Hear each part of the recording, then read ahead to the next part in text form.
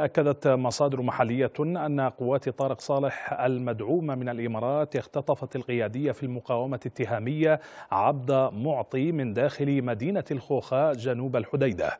أضافت المصادر للمهرية أن عددا من الأطقم العسكرية طوقت الجولة الرئيسية في الخوخة وأطلقت النار بشكل كثيف بمبرر ملاحقة القيادي في المقاومة التهامية عبد معطي دون معرفة دوافع اختطافه.